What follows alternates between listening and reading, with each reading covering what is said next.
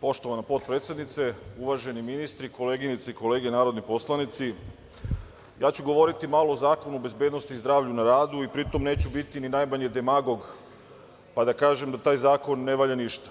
Mogu reći čak šta više da je taj zakon dosta dobar, da je lepo napisan i da u njemu ima dosta dobrih stvari, s obzirom da nije menjan još od 2005. godine. Međutim, postoji drugi problem, a to je što je taj zakon u našim prilikama potpuno neprimenjiv. Ministar je malo pregovorio Selaković o tome da vodi računa o radnicima, da kažem da država vodi o njima računa. Da država vodi računa o njima na pravi način, verovatno bi glasali za Predlog zakona o radu koji sam ja predložio prošle nedelje. To je moderan evropski zakon o radu koji bi sa ovim Zakonom o bezbednosti i zdravlju na radu mogao da bude, da kažem, odlično rešenje za sve radnike u Srbiji. Postavlja se pitanje kako 237 inspektora rada može da kontroliše 400.000 pravnih subjekata u jednoj državi. To je prosto nemoguće. Ako pritom znamo da je starostna struktura baš onaka kako je ministar rekao, i to je tačno, da su to mahom stari ljudi, da su oni podložni raznim uticajima i da oni u suštini nemaju velika ovlašćenja kada kontrolišu poslodavce koji krše bezbednost i zdravlje na radu. Svedoci smo da se svakodnevno, pogotovo u velikim kompanijama, da kažem, dešavaju razni bezbedonosni propusti. Slažem se da su povrede na radu sastavni deo svakog posla i da moramo svi da se borimo da ih bude što manje, jer je nemoguće da ih ne bude, ali prosto takvih primera stalno imamo, recimo u namenskoj industriji „Krušik“, Milan Blagojević, „Zastava oružje“, mnoge druge firme.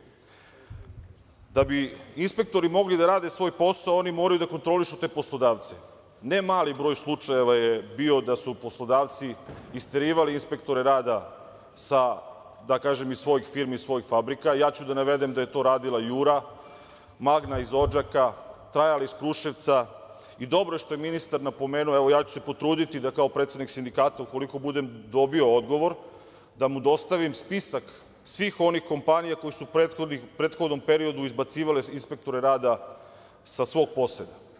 Na taj i takav način, ukoliko se to ne promeni, neće postojati mogućnost da se bilo koji poslodavac kazni. Može u teoriji, u praksi je to nemoguće, jer bez širokih ovlašćenja ne samo inspektora za rad, nego bez širokih ovlašćenja lica koje su zadužene za bezbednost i zdravlje na radu u kompanijama, bez šireg ovlašćenja Odbora za bezbednost i zdravlje na radu koji čine predstavnici poslodavca i predstavnici sindikata, mi ne možemo biti sigurni niti možemo računati da će se ta situacija popraviti, jer represivna politika, to je kažnjavanje takvih poslodavaca, je nešto što jedino može da doprinese da oni povedu računa o bezbednosti i zdravlju na radu, a 237 ljudi, verujte, nije dovoljno ni za Beograd.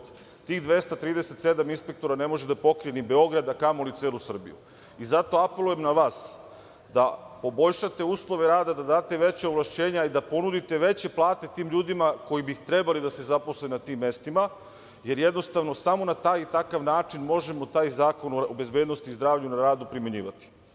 Ja sam jedan od onih ljudi koji su se borili protiv one vlasti 2012. godine i smatram i dan danas smatram da ta vlast nije dobra, ali kad govorimo o prosečnoj plati 17.000 dinara 2012. i 40.000 dinara danas nisu dobre ni jedna ni druga plata. Moramo govoriti o tome šta neko za taj novac može da kupi i koliko može da kupi. Ako u minimalnu potrošačku korpu, o tome sam već govorio ovde na Skupštini, država ili taj koji određuje tu minimalnu potrošačku korpu stavi za obrazovanje dece 100 dinara mesečno dnevno, mesečno 100 dinara, ili dve kockice čokolade po detetu mesečno, da li možemo da kažemo da je ta minimalna potrošačka korpa reper za nešto? Naravno da nije reper ni za šta. Cene su otišle u nebo, to i svi vi znate. Cene su otišle u nebo, uslovi rada su sve gori i gori i mi moramo da nađemo način da zadržimo decu ovde, da zadržimo radnike ovde, da nam ti radnici ne odlaze u Nemačku, da kao što ste rekli ministre, tamo predaju nemačkoj deci, nego da ostanu ovde. To možemo samo sa velikim platama, samo sa dobrim uslovima rada i samo sa bezbednim radom, da svako dete i svaki radnik i majka i otac koji ode na radno mesto, da se svojoj porodici vrati živ i zdrav bez problema. Hvala.